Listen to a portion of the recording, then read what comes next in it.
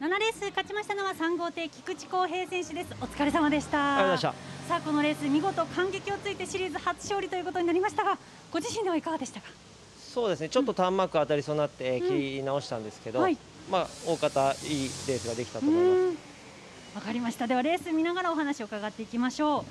進入は16ふたダッシュ345、えー、菊池選手4コースからの進入となりましたここ全体的に皆さんスタートが早かったんですが、はい。菊池選手0台半ばでした、はいやっとスタートが合ってきたんで、うん。お。えーまあいいスタートはいけるかなと思ってました、うんスタートのしやすさ、おこしとかはどうなんでしょうか、今まあ、そこがあんまり良くなかったんで、うん。あのースタートもよく分かってなかったんですけど,、うんまあ、だいぶその辺も改善されてきたと思います。わかりました。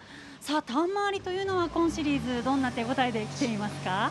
そうですねあのターンマークも良かったんですけど、うん、ゆきやさんがねはい。1コーナーあんまりいいターンしたかったんで 1投取れたと思います 正味どんな手応えで来ていますか？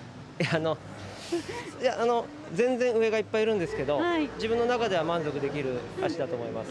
今シリーズここまで調整というのはどんなことをしてきたんでしょうか？えーっとペプロペラしかしてません。うんはい。で、プロペラしっかり反応ある感じですか？反応ありますね。はい。うんうんでは現状どのあたりが良さそうでしょうか？まあ直線関係行き足とかはいいと思うんですけど、うんはいターン周りはまあ普通ぐらいかなと思ってます。うんはい。わかりました。さあ後半スは11レース6号艇での登場となります。そうですね。うんここに向けての調整は？いや特に考えてません。はい。この足でいきます。はい、後半レースもぜひ期待しておりますのでは最後に一言お願いいたします。はい。えー、後半も気を緩めずにしっかり頑張りたいと思います。7レース勝ちましたのは3号艇菊池康平選手でした。ありがとうございまし。た。